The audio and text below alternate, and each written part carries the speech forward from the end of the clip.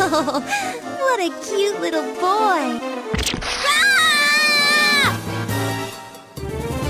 Laharl, why are you screaming? I, I don't know why, but for some apparent reason I can't stand women with sexy bodies.